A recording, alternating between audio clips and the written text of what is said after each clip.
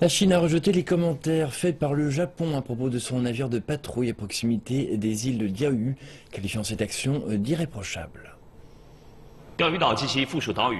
Les îles Diaoyu et les îlots qui lui sont affiliés font partie du territoire chinois depuis les temps anciens.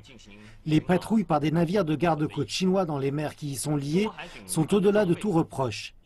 L'équipement sur les bateaux des garde-côtes chinois est standard et pas différent de la pratique internationale.